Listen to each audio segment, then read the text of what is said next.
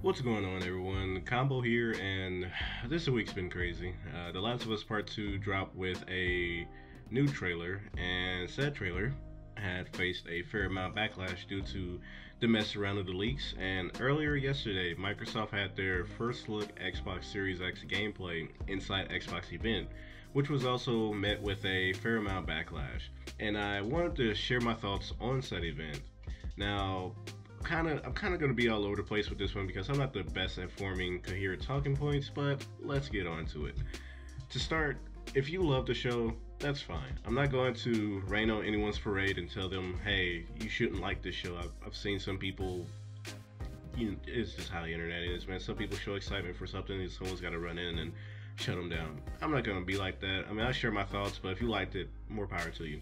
But as for my overall impressions of the event, I didn't walk away from the show with much hype. You know, um, there was about 13 games, give or take, that were shown, and out of the 13, I'd say maybe four or five had my entrance interest. Uh, personally, I was hoping to see footage of Elden Ring in play, but we didn't get that, so disappoint. Uh, Bright Memory looked very good, despite being stated to have been made by one person, so that came as a bit of a surprise. And it actually reminds me of this scenario with Lost Soul Aside, though I think, if I recall, he's now working with Sony, but getting off topic. Um, one of the issues with this event is that leading up to it, Xbox marketing put so much, you know, so many different tweets out and posts out talking about all the capabilities of the console, yet none of the games that were shown specifically highlighted the strengths of the system or the benefits of you know moving over to the next gen or just playing this game on new Xbox. I know there were some in-depth developer talks, such as what we saw with the Medium uh, and the game producer speaking about that. But with others, it was just like, here's game. That's it. Here's here's the game. Nothing else.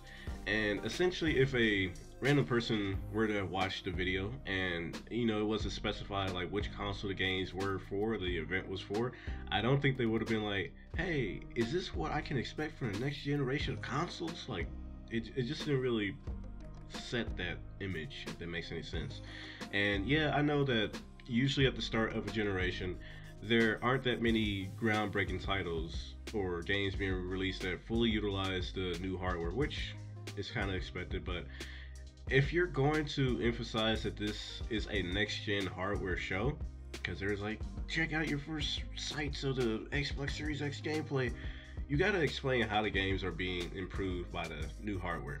Even if it's one title that's, you know, specifically highlighted and it speaks about what the hardware does for the game and that can, you know, speak volumes for other titles, you gotta have something like that. Now, it also didn't help that at the bottom of majority of the titles, except for one where it was at the top, there was a little note stating game and console in development, footage representative of expected Xbox Series X gameplay. Now, I understand that this was likely put there to let people know that hey, this isn't the final product and changes may happen before and now, before now and release. You know, we don't want to repeat example of uh, The Witcher 3 or Watch Dogs, for example, where there's like, yeah, this is how it's gonna look at it. It didn't. But uh, because of this, I've seen some people stating or being rather confused on if the footage shown was on Xbox Series X hardware or rather PC hardware that's close to what one can expect from the Xbox Series X.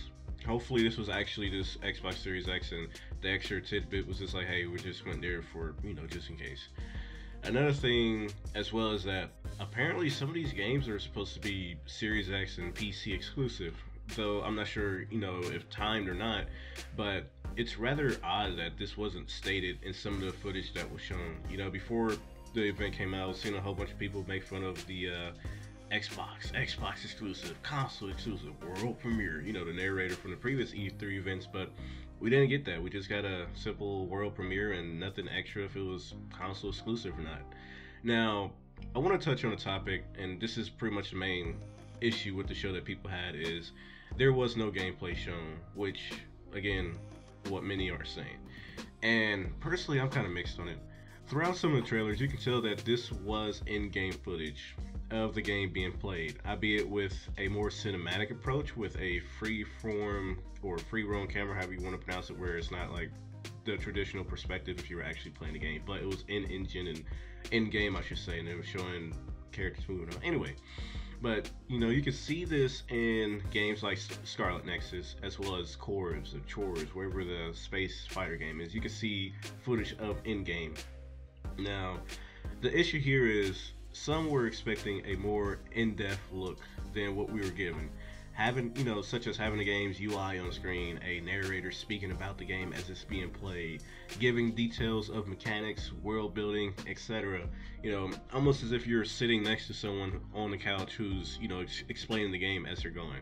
Uh, due to this uh, due to there being a lack of this style of footage many feel as if we were basically lied to. Now I personally don't share that sentiment because, you know, as stated before, from my perspective, what we saw for some games was gameplay. I know Geoff Keighley or someone came out and said in footage, con, you know, in-game footage isn't the same as gameplay, which I'm like, I mean, it's the game running, you know, I don't know what else you would call it. You know, one of the things with the Hellblade 2 trailer that we saw is people like, this is the CGI. We don't know how it actually look in game. And here we're getting games that, or we're getting footage of games actually running in game, but now it's like this is a gameplay. This isn't what we want. But I digress. Um, yeah. So I will say that I wish more games took the bright memory approach, like bright memory uh, infinite. Like it was just a quick little tad bit of here's the game, here's it running, and here's the game in action. You know that would have been better than some of the here's a mixture of gameplay, here's a mixture of cutscenes, and figure it out. But yeah. Lastly, there's the Assassin's Creed Valhalla section, and they really dropped the ball on this one. It's safe to say that this was the game many were expecting or anticipating the most after the initial reveal trailer we had earlier last week, I believe. And if any game could have used a more detailed approach discussing the features of the Xbox Series X, Assassin's Creed is the main one. You know, it, it would have it would have been the best way if it's going to be open world. Hey, this is how you know SSV is really cutting down on fast travel, and here's how the game looks on this high area up top with ray tracing. They could have done so much. Um, honestly, the event altogether was odd. Like I didn't hate it, but you know, and some games were interesting. Some of them looked interesting to me, but the show definitely should have been longer and gave more details on the games being shown. Would I say the show was a flop?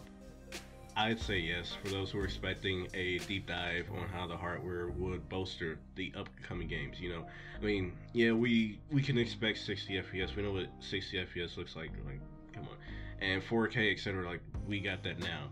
But having a, a demo showing how quick these load times were or how ray tracing changes the game or the look of the game would have been very interesting to see. Heck, they could have had like a side by side. Hey, some of these games are cross gen. This is how it's gonna look on Xbox One, and here's the improvements you'll see on Xbox Series X. We didn't get that. So, all, overall, after seeing the after seeing the show, I feel as if it really wasn't needed, and it should have been part of a bigger event. Um, I know with what's going on currently with the COVID, I probably shouldn't say that. And you know, you can't. I'm sure there's some issues of getting everything together. So take that as you will.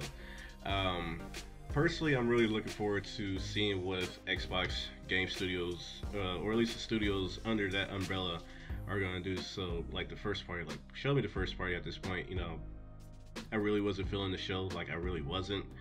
But that's just me. Again, it wasn't. I didn't hate it, but at the same time, I didn't walk away like excited from anything. So, yeah. But I'll end the I'll end the video here. I was thinking about discussing specific games in the show and give my thoughts on them, but that would have just made the video much longer. So yeah, just cut it here. Uh, anyways, thanks for watching the video drop a like or dislike however you're feeling about the video and uh, let me know what your thoughts of the show were as well. Ooh stumbling there. And uh, thanks for listening and take care. Have fun and yeah. I'm waiting for the next